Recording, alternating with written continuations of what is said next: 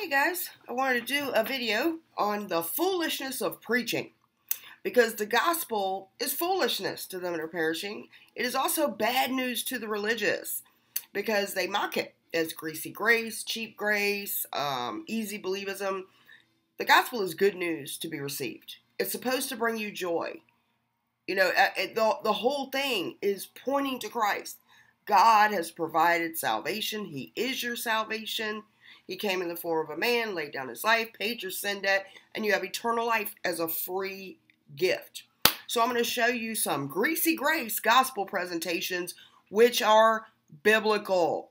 Now, false converts or false preachers will tell you repent of your sins or commit your life to Christ or give your will to the Lord. No, that's all what you're doing. That's your works.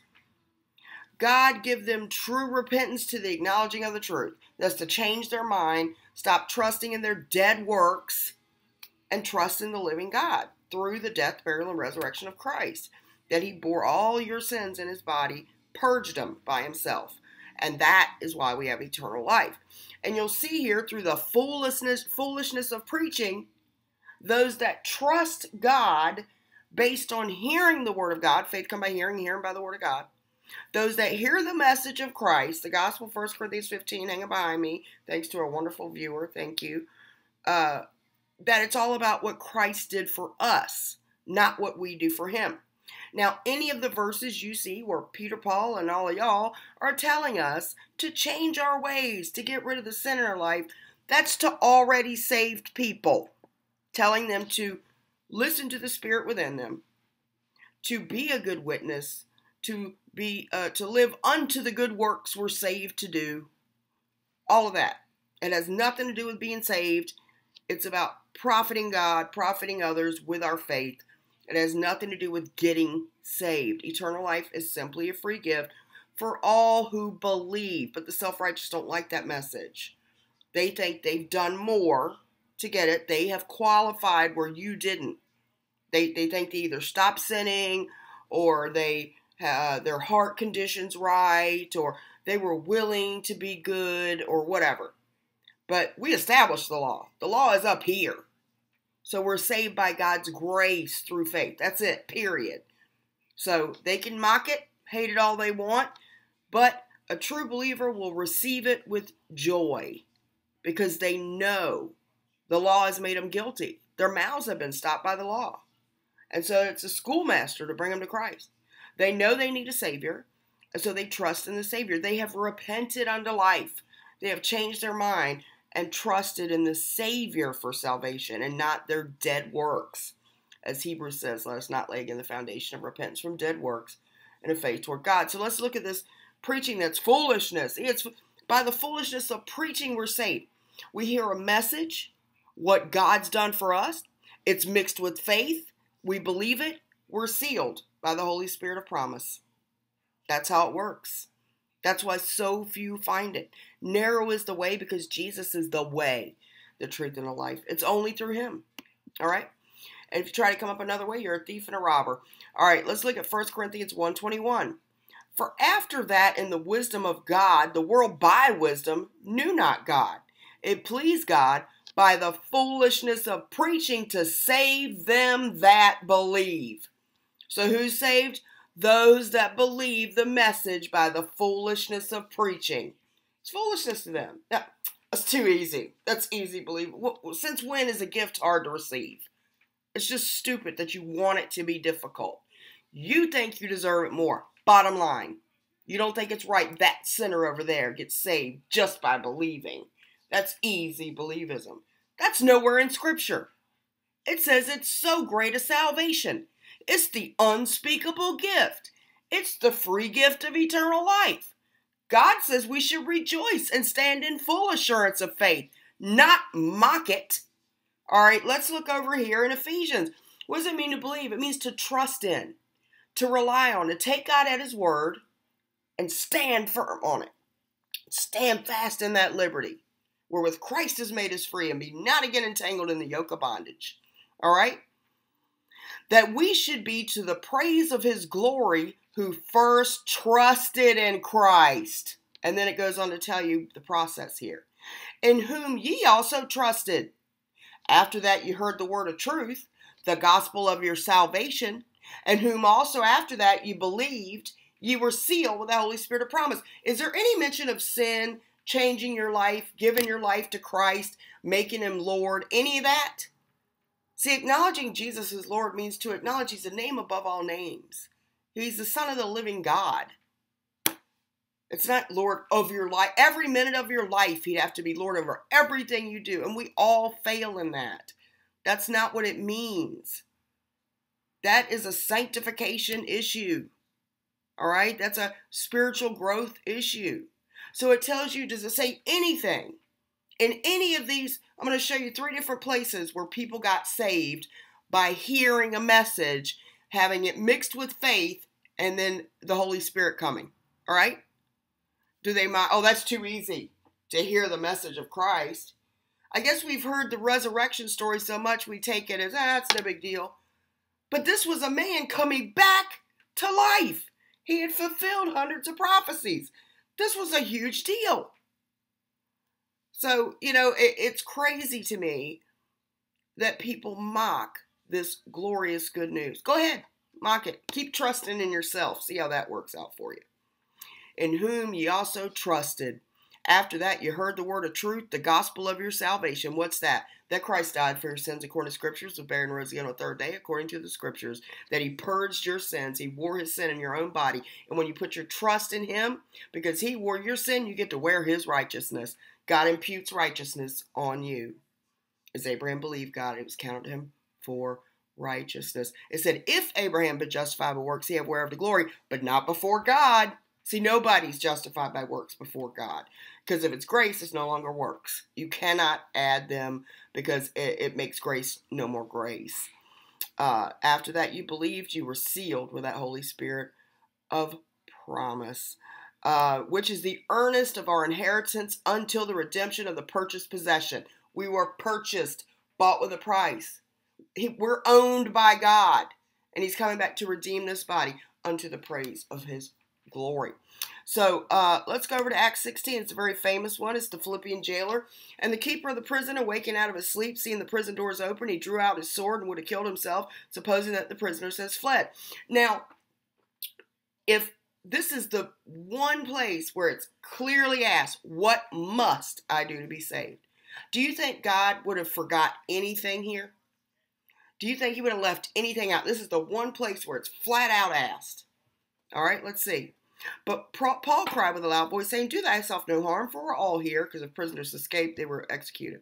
So he was going to kill himself. Then he called for a light and sprang in and came trembling and fell down before Paul and Silas. Why? he just witnessed an earthquake and they were praising God, and the earthquake came and all the doors opened, and he knew that was God. He brought them out and says, Sirs, what must I do to be saved? And they said, Turn from your sins, commit your life to Christ. No, none of that. Believe on the Lord Jesus Christ, and thou shalt be saved, and the house. And they spake unto him the word of the Lord, and to all that were in his house. And then he, he was baptized. Why? Because he believed. Let's see what happens with Philip and uh, Cornelius. Any any mention of sin or changing your life or being a better person or keeping the commandment? None of that. All right. The gospel message is God's offer to you of the free gift of eternal life through what Christ did. He paid for it. Mock it all you want. I don't care. I, I trust in God's power unto salvation and not my own righteousness, which is of the law, but the righteousness of God, which is by faith. All right. And he arose and went, and behold, a man of Ethiopia, a eunuch of great authority under Candace, queen of the Ethiopians, who had the charge of all her treasure, and had come to Jerusalem for to worship. He was returning and sitting in his chariot reading Isaiah the prophet. Then the Spirit said unto Philip, Go near and join thyself to this chariot. And Philip ran thither to him and heard him read the prophet Isaiah and said, Understandest thou what thou readest? And he was talking about uh, he was bruised for our transgression, the chastisement of our peace was upon him, by his stripes healed. He's talking about the suffering of Christ for us, right? But the Ethiopian doesn't understand what who he's talking about. And he says, uh, Hey, you understand what you're reading? Understandest thou what thou readest? And he said, How can I, except some man should guide me? And he desired Philip that he would come up and sit with him. So what's Philip doing? telling him about Jesus. This isn't clean up your life, act right, stop sinning, give your life to none of that.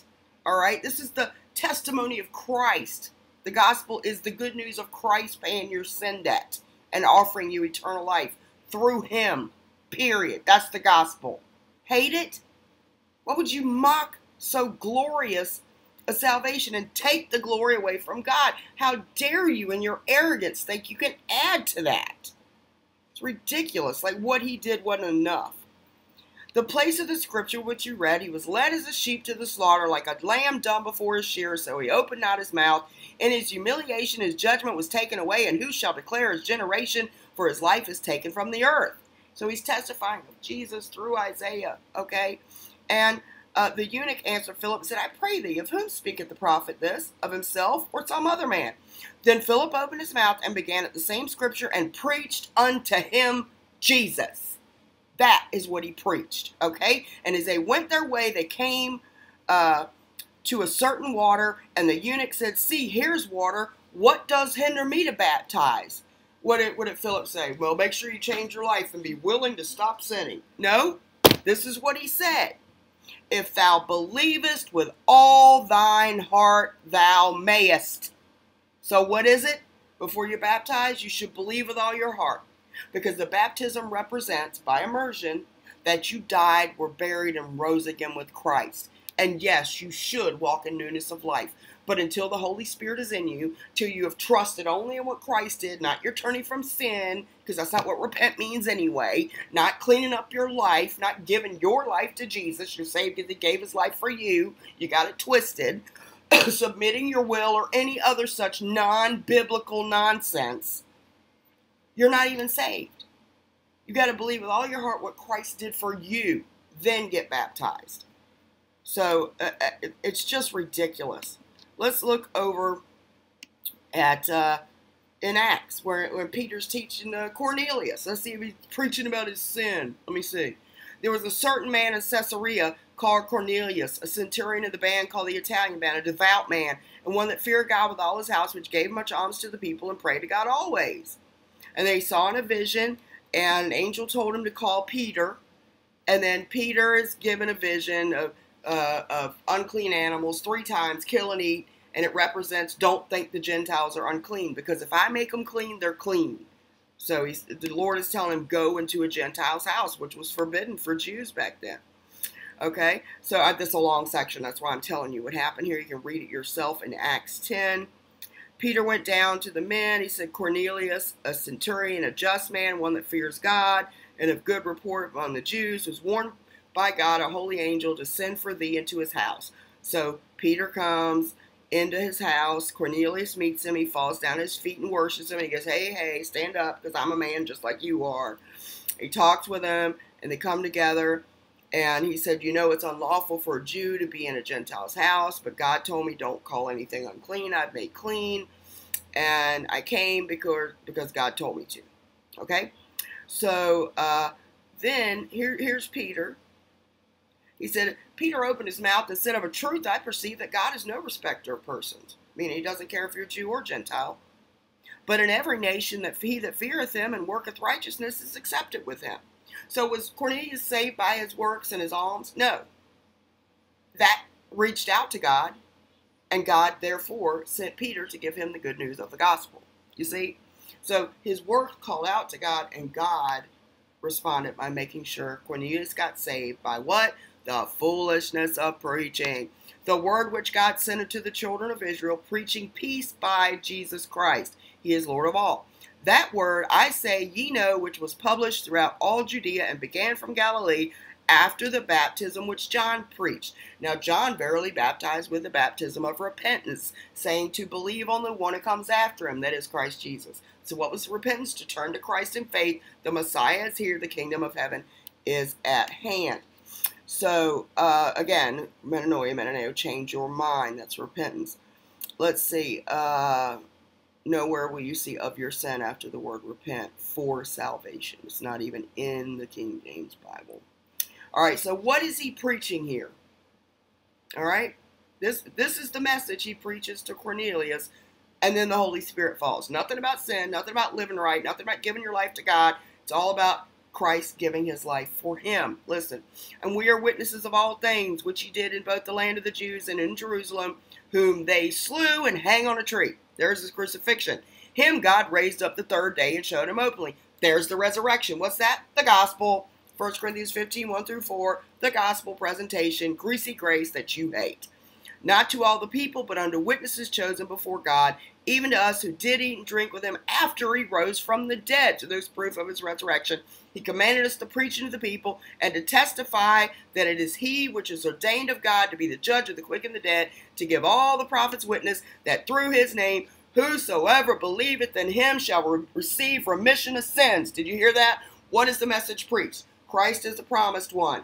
He is the one that died on the cross and paid for your sins, was buried and rose again. And whosoever believes in him shall have remission of sins. Hmm, that's the gospel message.